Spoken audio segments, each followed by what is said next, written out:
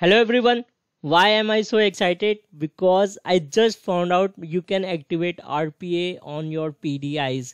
I know it was very very late but I just found it now. I am very excited and I will show you how to activate that RPA in your personal developer instance. I was going through the release notes of RPA and this was the first point mentioned there. I'll take you to the release notes first and then we will go to my PDI. So we are on the release notes page of robotic process automation and you can see the first point to increase the product adoption by enabling PDI users to access RPA Hub. So to adopt people using the RPA, they have activated this on PDI. Now more and more developers will be exploring this and suggesting to their customers and it will increase the revenue of ServiceNow let's go to my personal developer instance. So this is my personal developer instance 83065 which is on utah. So please ensure your personal developer instance is on utah.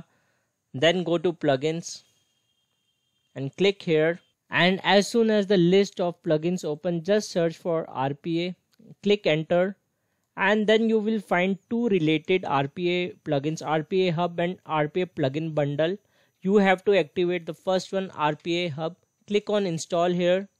And you would see RPA plugin bundle is already included in RPA hub. I'll click on load demo data as well. And these three plugins will be installed along with RPA hub.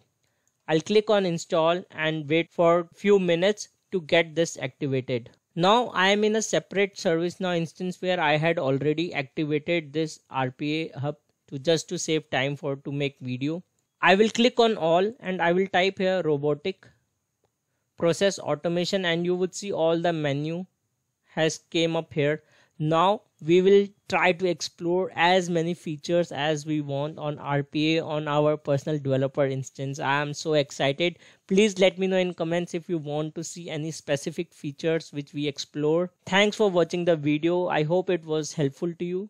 Please subscribe to my channel and don't forget to hit that like button.